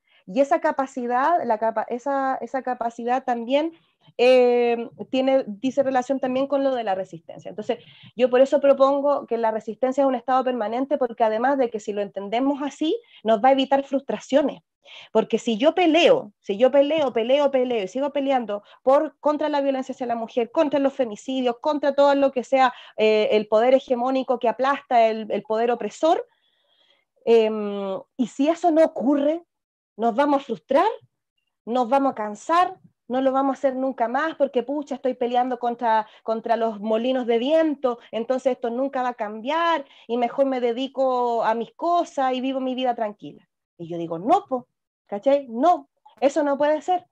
Porque lo que, por eso si yo lo entiendo, desde que todos los días la, vivo un estado de resistencia, es decir, me asumo como ser humana que se va a oponer contra toda violencia, como dice el eslogan de la red chilena contra la violencia, si me opongo contra toda violencia, me declaro en un estado de resistencia y de rebeldía permanente. Y por lo tanto, no hay frustración, porque es una lucha, porque se asume como lucha. Entonces eh, yo digo, esta es mi tarea en la vida y esa va a ser mi tarea en la vida hasta que me muera. Puedo tener días en que ando más, más débil, tengo menos fuerza, pero eso no significa que voy a abandonar, porque hay tanto que se necesita. Estaba recordando también otro que no les he contado, en, en Bolivia está Helen Álvarez, que Helen Álvarez es una periodista y miembro muy antigua del movimiento Mujeres Creando. Y Helen Álvarez, ella, su, ella trabajó todo, ha trabajado toda la vida en contra de la violencia y en el año 2005 su hija fue asesinada por femicidio, ¿ya? su hija Claudia Andrea Aramayo. Eh, y eh, la asesinó William Kushner Dávalos, un eh, magnate de Bolivia. Mucho dinero, familia con muchísimo dinero, por lo tanto, eh, las trabas que se han puesto al, juicio han sido impactantes, llegando incluso ahora, chiquillas, este año fue declarado culpable, le dieron la pena, los 40 años de condena, y ahora él está en la casa con arresto domiciliario. Y Helen, y Helen, que tiene una fuerza impactante, porque ella lo dice siempre que ella va a luchar por su hija y su nieta, porque también hay muchos que quedan con, los nietos, con los nietos a cargo, entonces tienen ahí, pero una, una, tremenda tarea. Y, eh, y, la Helen allá, como también es miembro de Mujeres Creando, es alguien visible y la bombardean, porque como esta gente tiene mucha plata, incluso ah, se armaron cuentas falsas desde Estados Unidos, desde no sé dónde, el otro día los puso ella, y están los bots, los bots ahí, pero miles y miles y miles y miles de comentarios. Hay creo hasta una página como de justicia para el, para el asesino este de William Kushner Dávalo. Y bueno, y el juez corrupto aceptó el pago de la familia y, ahí lo tienen en la casa, con arresto domiciliario, cumpliendo la pena en la casa. Entonces, eh, y todo, creo que la resistencia y las mujeres sobrevivientes de la dictadura y de la violencia política sexual es, es por la capacidad de resistencia y de sobrevivencia que tenemos también las y los seres humanos, porque somos una de las especies que ha durado más y, y, vamos durando porque nos vamos adaptando, porque vamos nos vamos sobreviviendo a todo. No, ahora, por ejemplo, esta pandemia, antes de que pasara la pandemia, yo, yo, yo pensaba, intuía que iba a pasar algo, pero yo pensé que íbamos, nos íbamos a quedar sin agua. Y yo empecé a pensar en ese tiempo como nos van a empezar a racionalizar el agua, cómo vamos a empezar a vivir con eso. Y después, pum, cae la pandemia y encerrado y, y, y haciendo cosas que nunca pensamos que íbamos a hacer a través de la, de la, de la red. Así que esa, y esa es una, es una tarea pendiente que tengo, Consuelo, porque también con la Pati Artea hace unos años atrás y con la Cata Devia queríamos hacer un proyecto en las tres juntas, con, con, las, con, con las memorias también, y, y no, lo, no, no, lo, no, lo hemos, no lo he hecho, y, y, lo tengo que hacer, porque solamente he apoyado, la, he apoyado todas las, las convocatorias en las que más puedo estar, pero como yo misma no he hecho un, un trabajo, y sí, y hay que hacerlo también. Yo tenía otro comentario, Maritza, con respecto a lo que decías tú recién de, la resistencia, ¿cierto? De que en el fondo es una lucha incesante eh, y que tiene que estar ahí para que podamos avanzar como sociedad. En la clase en algún momento eh, comentamos el, el, el, concepto este de Catherine Walsh de agrietar, de generar grietas, y yo siento que apunta un poco a eso, ¿no? O es al menos lo que a mí me mantiene positiva, porque em, hemos aprendido tanto de, todas las cosas terribles que pasan y la resistencia a veces parece, parece tener efectos pequeñitos, pero yo creo que no, porque en el fondo vamos, bueno, por algo se llama dando me imagino, tu colectivo, sí, sí, porque se van generando estas como pequeñas rupturas que que yo siento que son súper importantes y son las que finalmente, en algún momento va a tener que haber un cambio eh, importante. O sea, es como que estamos construyendo ese, camino, digamos. Quizás no lo vamos a ver nosotras, pero, pero es un, de todas maneras es un aporte para el cambio, digamos, y para tener una sociedad más justa en, en todo sentido. Claro, y ahí no nos tenemos que olvidar, y por eso mismo no nos tenemos que olvidar nunca de las luchas anteriores, porque eso nos fortalece, nos fortalece en el presente, el de acordarnos de, las, de todas las mujeres que eh, lucharon por el voto femenino, por ejemplo, eh, las mujeres tirándose ahí entre medio de las, carreras de caballo, como todas las mujeres en las huelgas de hambre, toda la, todo, todas las luchas que nos anteceden, es muy importante hacer la memoria de esas luchas porque eso nos fortalece, porque gracias a esas luchas hoy nosotras podemos estar un poquito mejor.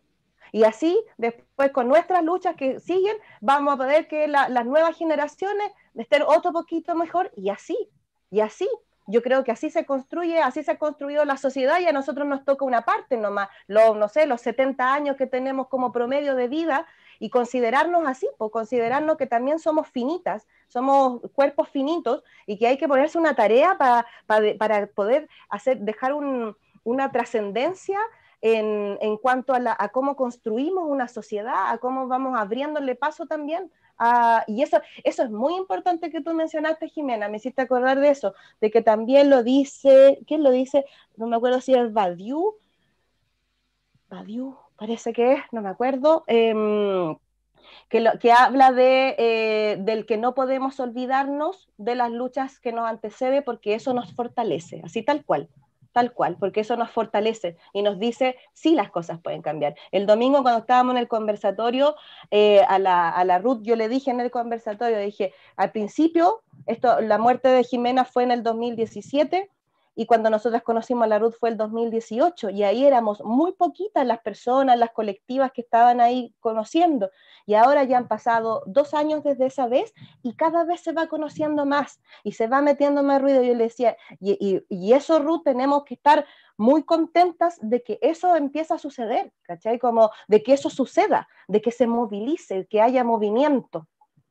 Y por eso la resistencia es tan importante, porque eso es el movimiento, porque las estructuras son conservadoras. Todas las estructuras son, son fijas, inamovibles. Mientras menos se mueva algo, mejor. Y la resistencia genera movimiento. Otra cosa que quería comentar a propósito de algo que dijiste hace un rato atrás, cuando mencionaste la contrarrespuesta, cuando dijiste eh, en el fondo hay una respuesta, o sea, nosotras como que activamos, denunciamos, y en el fondo no es que, no, no es que por eso dejen haber menos feminicidios, aumenta. Entonces también como que relaciona eso un poco que tú lo planteas con este tema de que dejar de comprender que el feminicidio es un acto aislado de un masculino que patológicamente se considera un criminal, que hemos revisado también acá en la bibliografía del seminario, sino que más bien complejizarlo de que no es uno, es un sistema, en el fondo, que está operando ahí misógeno, digamos, de estos crímenes genocidas, donde en el fondo no es el individuo, es un contexto, una estructura de alguna forma que posibilita, digamos, el que exista o el que se presente el feminicidio. Por eso la respuesta no es de un individuo, es como esta evolución que me acuerdo que hace poco, estamos hablando unos meses atrás, hubo un caso de feminicidio en Valdivia y después a los 10 días más hubo otro, y hubo después uno de transfeminicidio, y se dio en un marco de menos de un mes.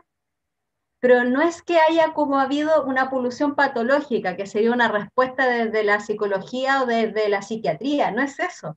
Es una respuesta estructural, porque hay un escenario que posibilita que esos feminicidios se den.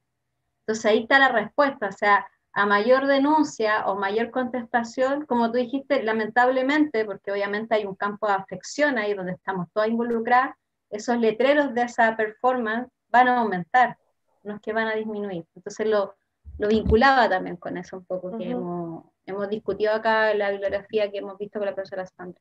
Claro, y va a llegar en algún punto que vamos a poder, que, que eso va a cambiar, que eso tiene que cambiar. Eso no, esto no se puede, no puede, no resiste. Podrá resistir unos años más, pero no, tiene que cambiar. Hay un libro eh, que creo que es donde yo vi ese, eso que le estaba hablando, que se llama Vivas nos queremos. Te los voy a mostrar. Es un libro argentino. Que en este libro es muy bueno porque escriben varias, varias mujeres. Creo que puede que esté digital. Se llama Ni una menos, Vivas nos queremos.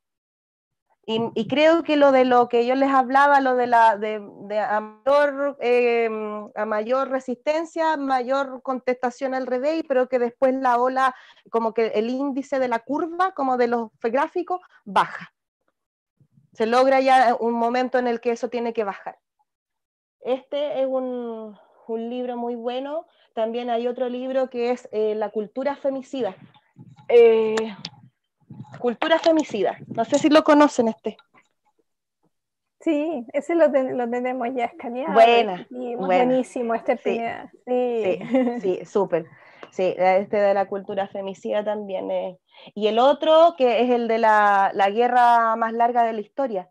¿Lo vieron, ese libro? Mira, ese dejen mostrárselo porque es importante. Esperen un segundo.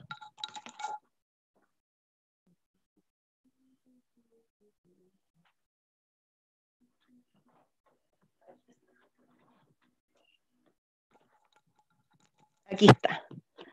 La guerra más larga de la historia.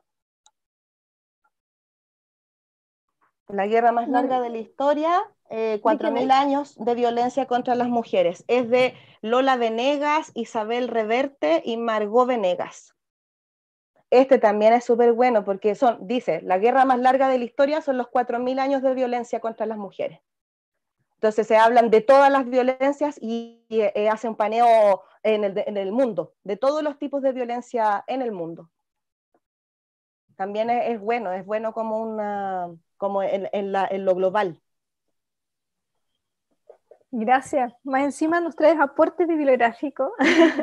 Así que muchísimas gracias. Yo te quería hacer una pregunta em, en relación, bueno, también a todo lo que has venido diciendo al último, ¿no? a esto de la resistencia y también em, de los feminismos, ¿no? ¿Cómo, ¿Cómo, ves tú en el escenario actual? ¿Cómo se cruzan estos, estos dos campos, ¿no? El de la memoria eh, el del feminismo y el de la, violencia contra las mujeres. ¿Cómo ves tú específicamente en Chile? ¿Crees que hay ahí un, despliegue de una articulación potente que está, que está funcionando más fuerte? ¿Qué efectos crees que va a tener eso? ¿Cómo lo ves tú? ¿Cuál es tu evaluación? Sí, eh, yo creo que es, es, totalmente de acuerdo con esa, con, con, esa frase que tú propones, Sandra, porque los, los feminismos todos los feminismos hacen una recuperación del pasado, una recuperación de la memoria. Hay una, hay una importancia, hay un valor que se les da. Entonces, desde que uno se declara, si uno se declara feminista, está también asumiendo una tarea con respecto a eso. Y esa tarea también es como es tener la visión del pasado puesta en el, presente para entender el presente. Es decir, gracias a, nuestra conciencia del pasado, tenemos esta, esta visión eh, más abierta, más, más clara para nosotras mismas también dentro del presente. Y también tiene que ver, creo, por la misma omisión que las mujeres hemos sufrido a lo largo de la historia. Entonces, hay tantos, hay tantos recovecos, hay tantas cosas que no están contadas, hay, porque, claro, hay tantas, ahora, las mujeres, los libros de, las mujeres chilenas, las, las mujeres grandiosas, las mujeres bacanas, hay tantas publicaciones que han salido porque efectivamente lo que se está haciendo como una tarea feminista es esa recuperación también del tener nuestra propia memoria el, la investigación que con mis compañeras levantamos de las dramaturgias de mujeres en el siglo XX, nació a partir de eso, de que habían, estaban consignadas 12 mujeres en un libro en 100 años de teatro y en, unas antologías que se habían publicado, eran cinco las mujeres que habían de 100 años de teatro. Entonces decíamos, no, pues esto no puede ser, ¿cachai? Esto vamos, veamos si es verdad. Y nos pusimos a buscar la tarea nos dimos esa tarea y efectivamente las que nosotros alcanzamos a encontrar fueron 42, las que nosotros rastreamos, pero son muchas más también, porque nosotros no consideramos en esa investigación el teatro infantil, por ejemplo, eh, solamente como más de, la, de los, los, textos que se habían estrenado, entonces, pero, y esa es una tarea, es, es una de las tareas de los feminismos, la construcción de nuestra propia memoria, también, porque la construcción de la historia de las mujeres, porque nos, nos excluyeron, el, el, canon nos excluyó de todas las disciplinas, nos excluyó eh, en la historia de Chile, nosotras pudimos entrar a estudiar a la universidad después de 35 años de la Universidad de Chile, o sea, la, la Universidad de Chile se inauguró y pasaron como 35 años para que se hiciera el decreto para que las mujeres entraran a la universidad y esa fue la pelea de las mujeres de esa época, de las mujeres intelectuales que, podían hacerlo, porque podían pararse ahí con los otros. Em, entonces creo que tenemos todos los feminismos, por eso los feminismos también eh, son parte de, toda de, todas las, de todas las problemáticas sociales los feminismos territoriales, los feminismos de, los territorios en sacrificio, de los, feminismos eh, migrantes, eh, en contra de la xenofobia, todo. ahí está. Siempre los feminismos están defendiendo y están resistiendo a la violencia opresora. Entonces creo que tiene directa relación con la memoria, completamente, porque es una, es una tarea entendernos, porque ¿qué es lo que, yo lo pienso como, qué es lo que hace el capitalismo? Hace que seamos súper ignorantes, que no haya pasado. El capitalismo y el, neoliberalismo, es decir, es que se viva solamente el presente, que uno sea feliz yéndose de vacaciones, eh, teniendo un auto y teniendo una casa y listo, y siendo feliz con eso. Entonces, eso es muy individual y eso hace de que yo no tenga pasado que no, que no me involucre en la historia de la humanidad y de no entendernos como representantes de la humanidad. Y eso yo creo de que los feminismos lo hacen. Eh, hay una conciencia muy grande de que somos personas, que somos, cada una de nosotras aquí es representante de la humanidad. Entonces, yo, eh, y si yo tengo conciencia de eso, voy a tener también conciencia de mis actos, de mis pensamientos, de lo que digo. Va a, haber una, ah, va a haber una ética en mi accionar porque yo estoy siendo representante de la humanidad. Entonces, si yo hago esto, si yo hago esto y hago un mal, le estoy haciendo un mal a la humanidad y yo me estoy comportando como un ser humano no ético. Entonces, creo que los feminismos tienen mucho que ver con eso. Está dentro, está, en la base. La Julieta Kirkwood lo, dice, los feminismos están del lado de los, eh, de los oprimidos, los oprimidos, las oprimidas. En donde haya una opresión, ahí hay feminismo.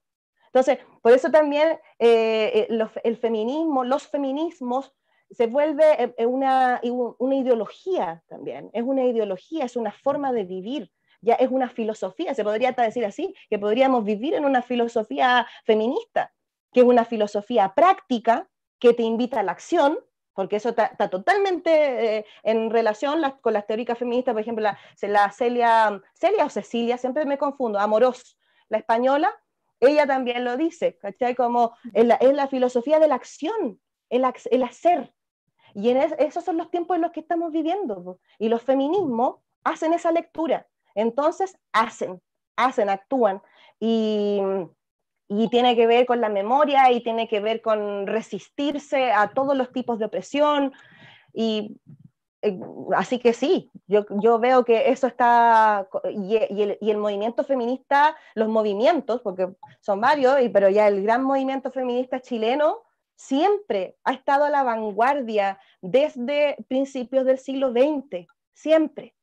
Entonces, las mujeres, los movimientos feministas chilenos son bacanes, o sea, tenemos una historia para atrás con la formación del MEMCH, con los movimientos de las mujeres para votar, todo tenemos, hay una, historia eh, de la cual sentirnos muy orgullosas y muy respaldadas también. Y, y, que también tuvieron que mamarse todas las pesadeces del entorno, pero así todos se consiguieron las cosas.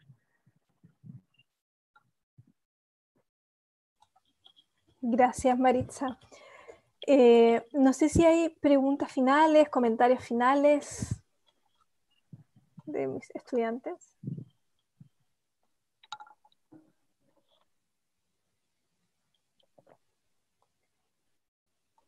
No. Bueno, yo me quedo con, estas últimas palabras, creo que son las ideales para terminar esta, sesión. Se nos pasó el tiempo volando, yo no me había dado cuenta que ya van a ser las cinco.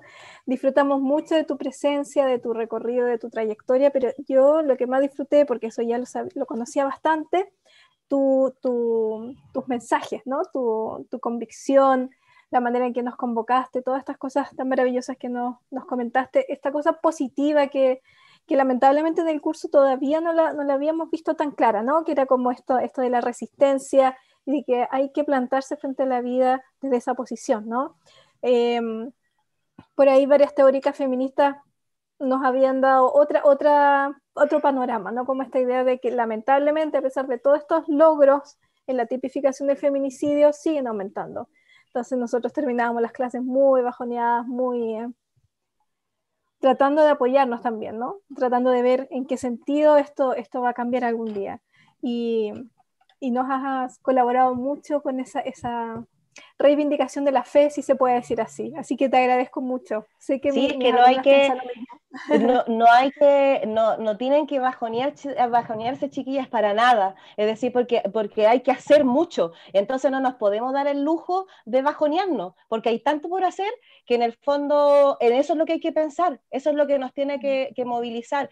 Mi, mi mamá cuando yo era chica, siempre me decía una, me, me dijo una frase que me acompaña hasta el día de hoy, que la vida se trata de luchar, así. La vida se trata de luchar.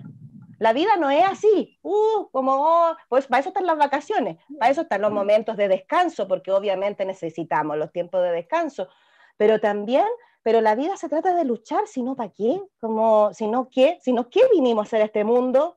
¿Cachai? Sino que mejor hacer algo. Y ahí yo digo, todo, y la tarea feminista, las de las tareas feministas tiene que ver con esa práctica, con el hacer. Y ustedes que son mujeres también que están eh, eh, haciendo sus investigaciones doctorales, así como yo también, eh, tenemos una tarea que es el, teorizar la práctica y el en poner en acción la, la teoría, en ponerla en acción no que las cuestiones se queden encerradas, basta también. Ahí los paradigmas de la academia también hay que derribarlos.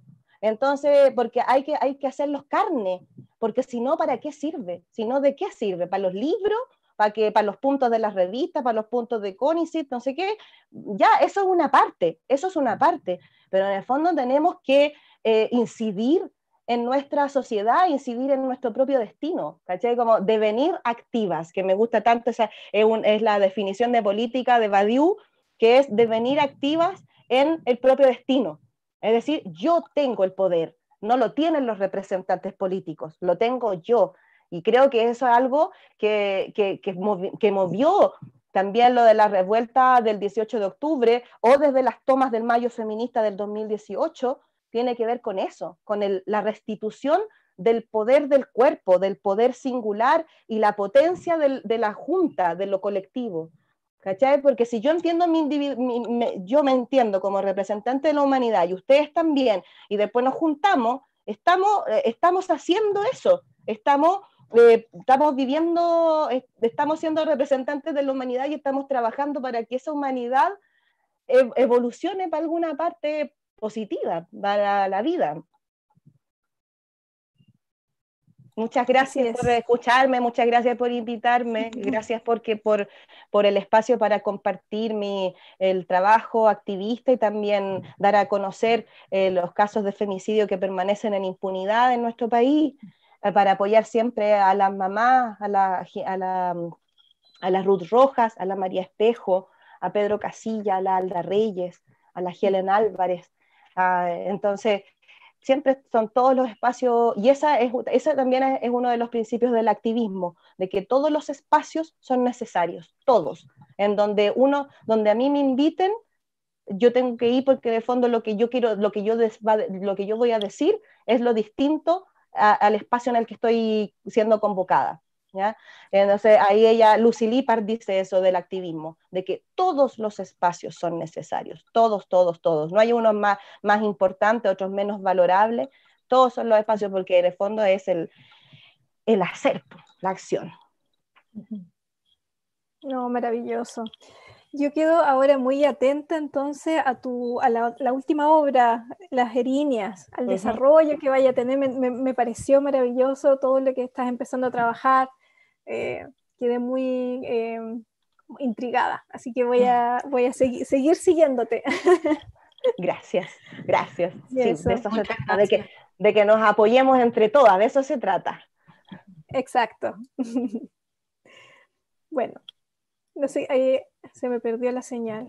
Bueno, muchas gracias, María. Quería también ah, agradecerte, Maritza, porque tu, tus palabras, no sé, las necesitaba escuchar respecto como a ese aliento de resistencia y, la necesidad de ocupar todos los espacios como tú bien mencionabas, como necesitaba ese aliento en este fin de año monstruoso. Así que dentro de toda tu presentación maravillosa, muchas gracias también por, por esas palabras finales y también voy a estar muy atenta a tus redes a ver qué, qué va saliendo para participar. Gracias, Consuelo. Sí, muchas gracias, muchas gracias, muy inspirador. Gracias, Karin. Gracias. Claudia, gracias, Jimena. Gracias, Sandra.